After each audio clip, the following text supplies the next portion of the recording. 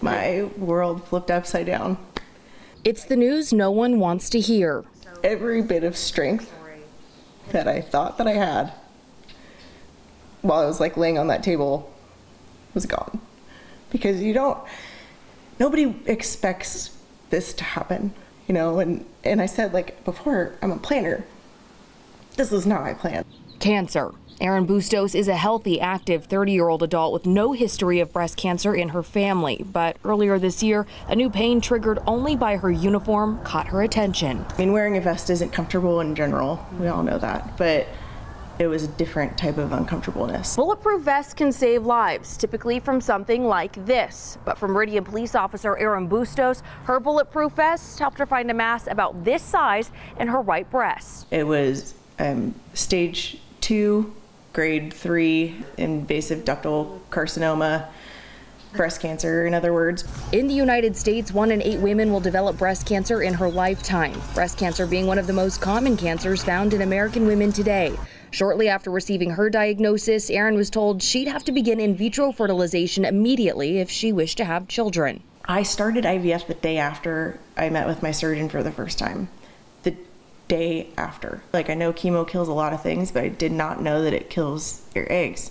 Mm-hmm. So, being um, a young adult, you know, with cancer, there's like a there's a lot of different things that you have to process that you know maybe when you get cancer when you're older you don't have to process. Three weeks of IVF later, Erin and her husband successfully ended their cycle with Ann were able to meet with a genetic counselor. It was actually super helpful because then we had the opportunity to test our embryos. So that cancer ends with Erin. I can be a sacrificial lamb for my future children. But because of Erin's cancer, hormones developed during pregnancy put her at risk.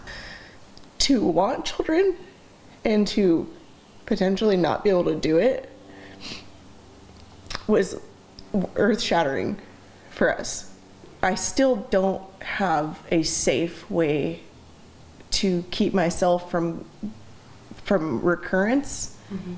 and also have kids at the same time. Despite the changes and pain that come with her diagnosis, Erin is hoping her story will motivate other young women to get checked regularly. I was not blessed to be put in this situation. Uh, nobody wants cancer, but if I can do something positive with it, why why wouldn't I? You know, I, I have a platform, I have a voice, I have a story, you know, and as painful as my story is to me still, it can still help maybe make someone's story a little bit easier later. Reporting in Meridian, I'm Frankie Katafias for Idaho News 6.